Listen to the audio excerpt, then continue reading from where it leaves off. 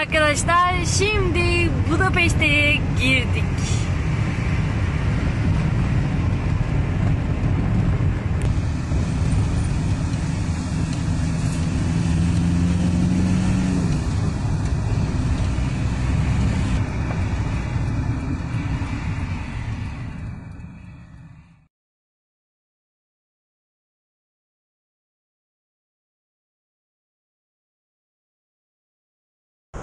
Evet. Macaristan Budapeşte yolculuğumuza çok hızlı bir giriş yapıp çok hızlı bir bitişle ayrılma kararı aldık. Çünkü inanılmaz sıkıntılı anlar vardı. Evet sevgili Verdiğimiz arkadaşlar. bu hızlı kararla bir an evvel Türkiye topraklarına Canım kavuşma vatanımız, arzusuyla bizim yollara koyulduk. Sevdiğimiz canımız Türkiye'mize geri dönüş yolu başladı. Evet biz dönüyoruz. Çünkü Macaristan ve Sırbistan gerçekten ama gerçekten ne cumhuriyeti? Ne cumhuriyeti? Doğru mu söyledim? Gerçekten e, inanılmaz derecede hırsızlık, e, insanların her an bir saçma sapan bir açıklarını yakalayıp e, farklı farklı sıkıntılı olaylara sebep olabilecek bir sürü olayla karşı karşıya kaldık. Gerçekten çok korktuk. Yani ilk defa şu ana kadar girdiğimiz 14 ülkeden hiçbir kaldık. hiçbir şekilde bunu yaşamadık yani. Ya tabii paralarımız da suyunu çekti. O anlamda değil. Euro geçmiyor ya. Hiçbir şey He, hayır yani gerçekten hani limitimizin sınırına yaklaştık o ayrı bir şey. Aynı zamanda e, Makedonya'da euro da geçmiyor. Makedonya değil. Ay, Şey pardon özür dilerim. Macaristan. Macaristan'da da e, euro geçmiyor. Euro geçmediği için şey olduk yani e, onların para dilimiyle change yap change yapmıyorlar. Yakıt alacağız, yapmıyorlar. Başka bir şey alacağız, yapmıyorlar. Yani Avrupa Birliği ülkesi olup da e, hala daha Avrupa gibi olamayan ne yoluyla ne insanıyla ne gerçekten yaşanılır bir ülke değil yani. Ve sadece Macaristan değil Sırbistan öyle Arnavutluk neydi bizim en son gittiğimiz E, Avusturya Avusturya öyle İyi. ya yine iyiydi ama yine de Euro geçiyordu yani. Euro geçiyordu en azından. Nisan Yani şu an e, Macaristan gümrük çıkışındayız. Şöyle bir uzaktan çekeceğim. O Macaristan çıkışı değil mi bu? çıkışı, Sırbistan girişi. Evet. Aynı zamanda biz Sırbistan'ın girişine de mi gireceğiz buradan? Macaristan'dan çıkacağız, Sırbistan'dan gireceğiz. Ee, Allah'ın izniyle topraklarımıza bir an önce kavuşmak istiyoruz. İlk kavuşur kavuşmaz hani tu- topraklarını öpen gurbetçiler gibi olacağız sanırım. Çünkü gerçekten bizim memleketimiz gibisi yok.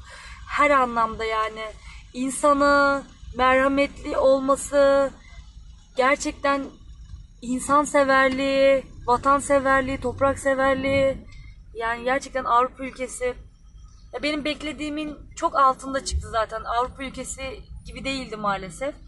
Ee, ama görmediğimiz, toprağına adım mı atmadığımız her yer bizim için bir ee, şeydi yani hayal gibiydi. Ama hayal değilmiş, çok da zor değilmiş. Allah nasip etti ve biz gördük. İnşallah daha göremediğimiz yerlere de nasip olur. En önemlisi kendi aracımızla girdik. Kendi aracımızla girdiğimiz için bu bizim için daha kıymetliydi. Sezgin için çok yorucuydu. Yani şu an 10 bin kilometreye yaklaştık değil mi? Daha e, 1000 kilometre yolumuz var.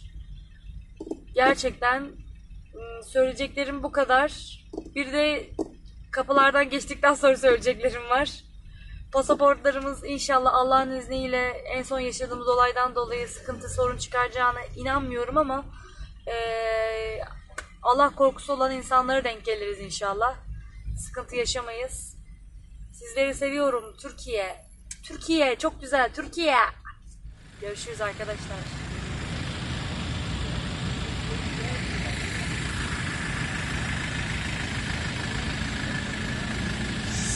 Selam. Selam. Nasıl gidiyor? Valla 10 numara 5 yıldız. Cips yiyorum, Oh. Yemek yedim, Pringles yiyorum. Oh. Türk şarkıları dinliyorum Türkiye'ye girince. Kendimizi böyle Türkiye'ye girmedik ama daha. Türkiye'ye biliyorum girince daha çok var da o Türk şarkıları, Türkçe şarkıları dinleyince insan Evet. Kendi memleketindeymiş gibi. İnşallah Macaristan'dan çıkıp Sırbistan'a gireceğiz. Sonra Bulgaristan'a gireceğiz. Sonra Türkiye. İnşallah. Az durağımız kaldı. Aynen. O zaman bay bay. Hayırlı yolculuk. Evet pasaportlarımızda bir sorun çıkmadı. Şimdi de Sırbistan e, gümrüğündeyiz. Sırbistan'dan girişimizi yapacağız. İnşallah burada da sorunsuz bir şekilde gireriz ve topraklarımıza varırız. Sırbistan'da gün doğarken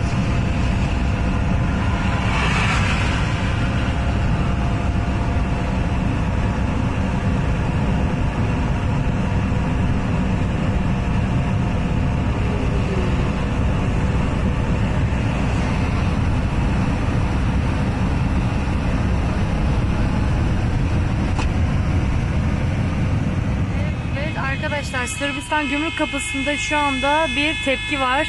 Bütün araçlar korna basıyorlar. Yani gişelerin daha az gişe, gişe çalışıyor şu anda. Daha fazlası çalışsın diye bir tepki söz konusu. Ama durdu. Bir dakika bu karşı tarafın kornaları mı? Karşı taraf hiç gitmiyor ya. Evet. Kilitlendi kaldı. Baksana ne kadar kuyruklar nerelerde. Yani biz açıkçası Macaristan gümrüğünden geçerken bir saat beklemiş miyizdir? Bir saati geçti. Şimdi Sırbistan'a gireceğiz. Burada çok fazla kişi çalışıyor. Evet arkadaşlar Sırbistan gümrük kapısında da hiçbir sorun yaşamadık çok şükür. Şimdi Sırbistan yollarında ilerliyoruz. Dikkatimizi çeken bir şey oldu ama Sırbistan'la alakalı. Sen söylemek ister misin? Vallahi şöyle bir şey söyleyeyim. Avrupa Birliği'ne girmiş ülkeler Almanya, Hollanda, Avusturya Evet. Vallahi bu kadar güzel yolu yoktu yani. Çok net söylüyorum. Kesinlikle. Sırbistan'ın yolları çok güzel değil mi? Çok kötü olduğunu söylemişlerdi aslında ama. Evet çok küçük bir yer var böyle bir Karanlık yapayım sen rahat sür. ya 20-30 kilometre falan bir şey o da ara ara böyle bir bozuk gibi ama onun dışında eee Sırbistan'ın girişi ve çıkışı çok uzun bir mesafe gerçekten çok uzun ama yollar çilek gibi yani kaymak cidden kaymak yani. Evet, sana ışık tutuyorum. Çok hoşuma gitti. Almanya'nın yollarını gördük. Ee, gelişli gidişli çift şeritti. Evet. Tadilat vardı. Bozuktu. Yollar hep Yes. bozuktu. Hollanda'nın yolları da bozuktu. Yani öyle gidilmeyecek kadar değil ama çok da böyle kaymak gibi değildi. Ayrıca Macaristan ve e, Sırbistan'daki gümrükteki arkadaşlar ne kadar e, olumluydular değil mi? Ne kadar Aynen. güzel yaklaştılar. Hatta Macaristan, Türkçe Macaristan çıkışındaki adam hoş geldiniz dedi. İşlemlerimizi yaptı giderken de güle güle dedi. evet ama onun öncesinde gülümsedi. Yardımcı olmaya çalıştı. Evet. E, Sırbistan girişinde de ki gümrükteki bayan arkadaş ne dedi? Dog. Pasaportları görünce dog. Pasaportları görünce köpek mi ısırdı dedi. Evet dedim. Köpek nerede dedi. Köpek bizimle birlikte zannetti. Çünkü köpeğin de pasaportu şey evrakları olması gerekiyor. Yes. Ben Hollanda'da deyince tamam dedi. Goodbye dedi. Goodbye children. Children goodbye dedi. Yes. O zaman Bulgaristan'a kadar yollarımız devam ediyor. Bay bay. Bu arada gün aydınlanmaya başladı. Evet. Sana dedim ya ben saat 6-6.30 gibi hava aydınlanır diye. Evet. Çünkü Türkiye'ye yaklaşıyoruz. Evet bu arada biz Macaristan'dan çok çabuk ayrıldık. Sebebini söyleyeyim size. Ee, Avusturya'dan Macaristan'a girdiğimiz andan itibaren o çevre yolunda falan bazı şeyler hissettim zaten ben. Ee, kalabalık olan bir benzin istasyonuna girdiğimizde orada e, Hali hazırda bekleyen Aynen, bir tamirci. bekleyen tamirci, servis arabası ve işte kaputu açılmış sözde bozuk araba onu tamir ediyorlar gibi bir durum vardı ama o bozuk araba da zaten planın bir parçasıydı. Biz yanaştık zaten. Ee, yanaşır yanaşmaz arabanın etrafında 3-5 kişi belirdi böyle tipleri bozuk ama arabanın etrafında bizim karavanın etrafında kameralar olduğu için belki de o kameralardan çekildiler bilmiyorum. Yani bunların sistemleri... Sen bir ara iki dakika uzaklaştın. İki dakika uzaklaştım benzincinin içine girmek için, marketine girmek için. İşte geri döndüğümde falan arabanın etrafında zaten arabaya bakıyorlardı. Bazıları telefonla konuşuyormuş, numarası yapıp arabayı işte inceliyordu falan. Yani bunların sistemi şey direkt eee, hırsızlık falan değil. Arabanın bir yerine hasar verip sonra "Aa, tamirci de var zaten burada bir gösterelim deyip eee, işte bir Onlara mecbur şeyi, tabii, me- mecbur kalıp bir yıllık şeyi e, 10 lira 20 lira verip tamir ettiriyorsunuz. E, Zaten biz hemen oradan ayrıldık. Ve zaten biz yola çıkmadan önce bununla alakalı çok fazla uyarıda Aynen. bulunmuş insanlar. Ama biz tabii bu canlı örneğini yaşadık. Aynen. Daha sonra ben birkaç tane daha benzinci gördüm. Orada da yine böyle bozuk araba kaputu açılmış tamir ediyorlarmış edasında böyle. E, birkaç yerler gördüm. Macaristan'ın içine girdiğimizde zaten Macar, e, Macaristan kendi para birimini kullandığı için bizde de euro olduğu için hiçbir yerde bozduramadık. Hiç kimse bozmadı. Benzinciler bile e, Change evet yapmalar. benzin verebiliriz ama o da zaten euroyu neredeyse e, yok parasına alıyorlar. Yani normal şartlarda euro, euro ile biz diğer yerlerden e, diğer ülkelerden benzin aldığımızda 70 litreye yakın e, pardon 80-85 litreye yakın mazot alabiliyorken 100 euroya orada bize teklif ettikleri işte 68-70 gibi bir e, litre Hayır, teklif 57. Ha pardon 57 litre teklif ettiler. Ya tabii biz yakıtımız olmadığı için orada euro geç, geçmediğini bilmediğimiz için de mecbur kalıp 57 litreye okey dedik. Ama e, euroyu kimse almadı. Otoparkta çok sıkıntı var. Bazı arkadaşlarımızın araçlarını bağlamışlar. E, biz şimdi kendi para birini bul- bulup otoparka da atamadık. Dolayısıyla ben bir tane ATM gördüm.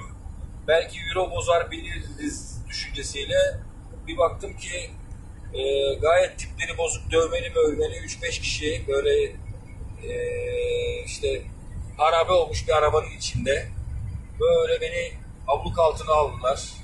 Eğer ben o bankadan para bozdurup ya da para çekip gitseydim kesinlikle ve kesinlikle eminim ki arkamıza takılacaklardı ki para çekmediğimiz halde yine de arkamıza takıldılar. Sonra ben gayet yavaş gittim. Işıklarda bunlar bizden ayrılmak zorunda kaldılar. Yani tuhaf tuhaf çok tuhaf şeyler var. Sırbistan'da hırsızlık olayları ya da bu tarz araba bozma, tekerlek patlatma gibi olaylarını benzincilerde biliyordum ama Macaristan'a da kaçmış bu durum. Macaristan'da da var. Dolayısıyla biz Macaristan'da durmak istemedik arkadaşlar. Yani gayet e, düzgün bir e, memleketti eskiden. Ama şimdi Macaristan da bozulmuş. Macaristan'a gidecek olursanız kesinlikle dikkat edin. Macaristan'a aracınızla gitmeyin.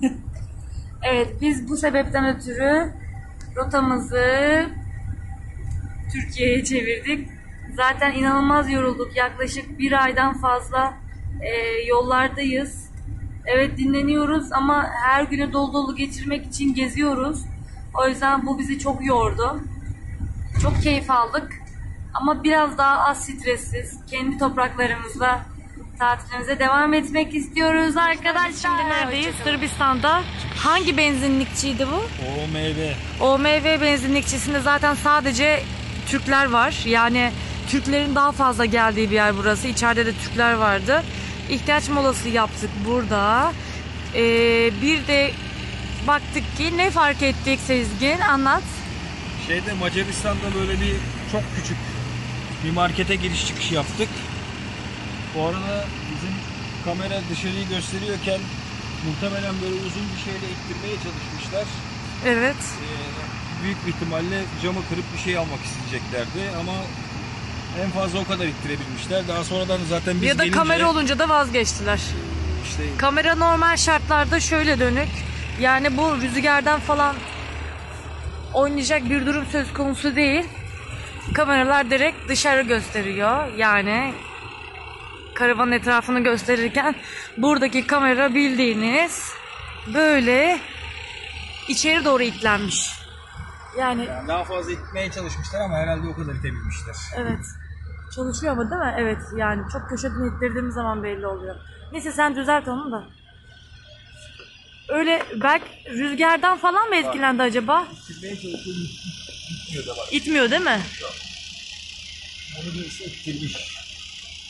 Evet birisi ittirmiş. Evet hiç şaşırmadık.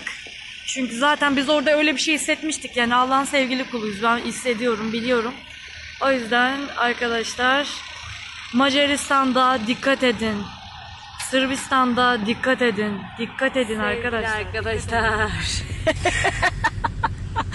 Şu an hangi gümrükteyiz? Sırbistan çıkışı, Bulgaristan girişi. Evet, Sırbistan'dan çıkıyoruz. Bulgaristan'dan gireceğiz. Yalnız az önce gördüğümüz sahneyi çekemedim korkudan. Her yerimizde dilenci vardı. Her yerimizde. O kadar kötü bir durumdu ki yani kapıları bile açıp içeri bile girebilecek durumdalar yani. Çil yavrusu gibiler bizim biz arabadan kurtardık. Arabanın yeşilini asker yeşili zannedip bize hiç ama hiç gelmediler. Ya da dediler ki bunlar fakir ya biz Mercedes BMW'lere gidelim dediler. Gittiler. Ve önümüzde şöyle bir kuyruk var. İnşallah çok fazla beklemeyiz. Yaklaşık 10 dakikadır bekliyoruz. Hadi bakalım. İnşallah sorunsuz geçeriz. Yine azaldı çünkü bir saattir, bir buçuk saattir yine yoldayız. Sıra bekliyoruz resmen. Bu nasıl bir gümrük kapısıdır arkadaş ya? Hep haberlerde görürdüm hiç inanılsın gelmezdi yani. Gerçekten saatlerdir burada bekliyoruz yani. Artık inanasın geliyor mu? Artık inanasım geliyor. Hatta öndeki arabaya yer verdik. Bize Fanta verdi. Sana da Red Bull verdi. Mutlu musun? Bak bir dakikalık şey için iki tane içecek aldık gördün mü? İnsanlık buna denir insanlık. Arkadaşlar Bulgaristan Sırbistan sınır kapısından çıktık. Bulgaristan sınır kapısına Gireceğiz inşallah Allah nasip ederse. Böyle rezalet bir gümrük kapısı görmedim hayatımda. Bulgaristan gümrük kapısına bakar mısınız? Girişi rezalet yani savaş alanı gibi. Bu ne ya? Gümrük kapısı sen ya. Ülkene giriş yapıyoruz. Ülkene giriş yapan bir sürü insan var. Bu mu yani oluşturduğun itibar? Yazıklar olsun. Welcome to Bulgarya.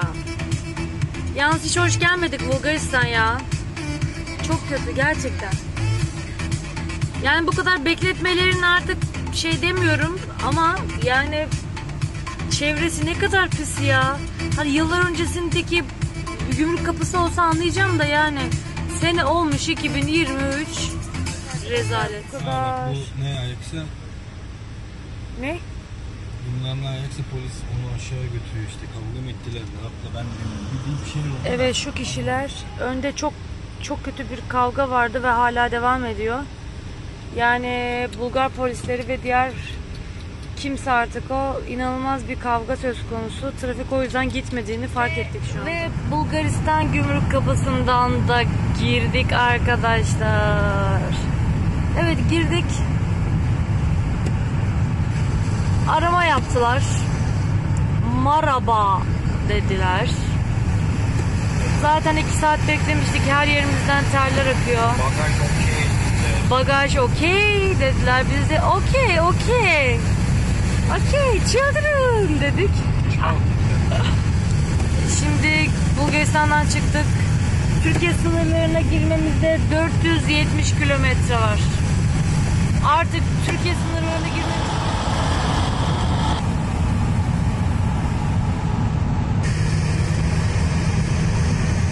Evet arkadaşlar şu anda Bulgaristan Plovdiv'deyiz. Burası Bulgaristan'ın ikinci en büyük şehri olarak geçiyor.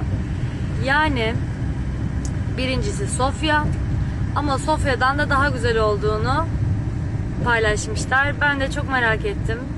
O yüzden Plovdiv şehrini görmek, eski şehri nasıl olduğunu sizlerle paylaşmak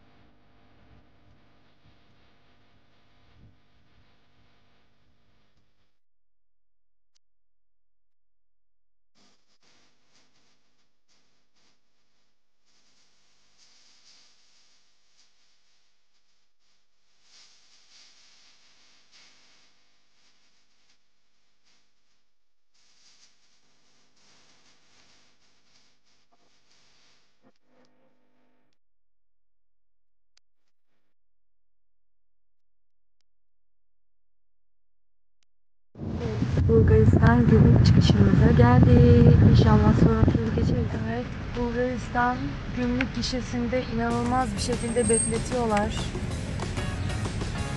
Ve yine çok fazla trafik oldu. Hala bekliyoruz. Birazdan Türkiye gümrüğüne gireceğiz inşallah. Evet. Bulgaristan gümrüğünden geçtik ve görüyorsunuz burada kocaman bir Türkiye yazıyor. Ve biz bu Türkiye'yi çok özledik. Topraklarını öpelim mi? Edirne'nin öpmek öpelim, öpelim, öpelim, öpelim, öpelim. Hoş geldin Türkiye. Bayrağına kurban be. Bayrağına kurban be. Evet. 35 günlük maaş. Ee, kimin var ya. Kimin gümrüğü? Türkiye var. Gümrüklerde adam oturmuş yerine kapıyı bile kapatıyor daracık yani. Oksijen yok. Adam dolayısıyla kafa atmış yani. Şimdi bak bizim buralarda Gerçekten bir sürü gişe var ve çok düzenli. 3 Her şey 5 çok kişi düzenli. kuyruk olduğu zaman hemen başka 2-3 tane takviye gişe açıyorlar. İşte bizim Türk milleti. Gerçekten. Helal olsun be. Vatanımıza dönüyoruz. Türk topraklarına dönüyoruz. Ve Türkiye'liyiz biz ya. Kesinlikle Türkiye'liyiz. Tamam Avrupa'ya gezmeye gezdik ama biz Türkiye'yi çok özledik. Yüz tanıma sistemi yapıyor. Yani hiçbir gümrükte biz bunu görmedik. Gerçekten bir şey aranacaksa ve düzgün yapılacaksa bu şekilde olmalı. Ülkemizden geçtik. Benim pasaportumu köpek ısırdığı yani lira ısırdığı için eee, okumadığını söyledi. Eee, yabancı ülkelerdeki okuma sistemi biraz daha farklı olduğu için biraz daha elle yapıyorlar. Ona sıkıntı olmadı ama şimdi sıkıntı oldu. Dolayısıyla da ye- yenisini çıkartırsanız iyi olur dedi sağ olsun polis arkadaşımız. Şimdi de bagaj onayımız olacak. Bagajlar aranacak. Ve yolumuza devam edeceğiz inşallah. Gerçekten işini düzgün yapan bir Türk milleti.